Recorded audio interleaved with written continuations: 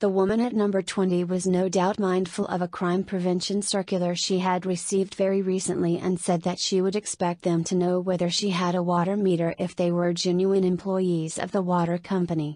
The tall man from the van showed a card to the skeptical woman, which seemed to satisfy her. She went into her house and left them to it. The three men busied themselves in the driveway of number 18. They raised a manhole cover, then one man got a toolbox from the van, went round the side of the house and into the back garden. After a few minutes, the front door opened and he appeared at it, signaling to his colleagues. The tall man closed the manhole cover, took another toolbox from the van, and went to the doorstep. He glanced around, then he also entered the house, leaving the front door ajar. The third man reversed the van into the driveway,